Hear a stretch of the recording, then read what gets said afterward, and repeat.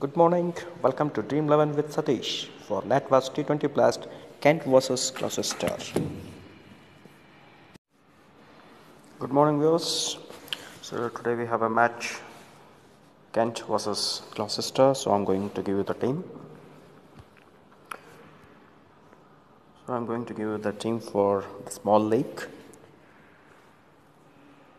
So the wicket keepers I'm going with Mustard who comes opening Billings comes uh, down the order so Mustard is a better option.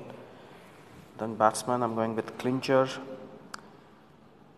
Northeast was a captain for Kent though he bats down the order but uh, he is uh, more consistent.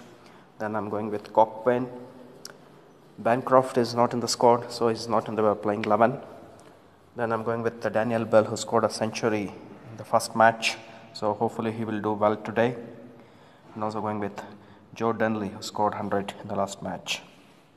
Coming to all-rounders, I'm going with Benny Howell who scored a lot of runs and wickets and here I'm going to only take one all-rounder because Neesham comes down the order not taking the wickets.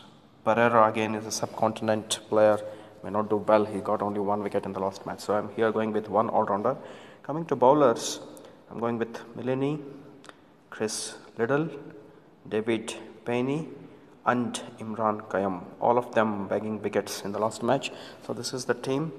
So take a look at the team.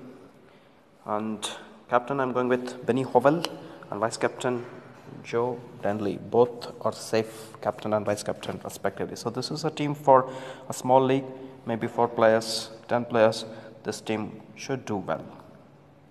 So this is how the preview looks. If you like this, take a snapshot and make the team and wish you good luck for the Kent versus Gloucester match.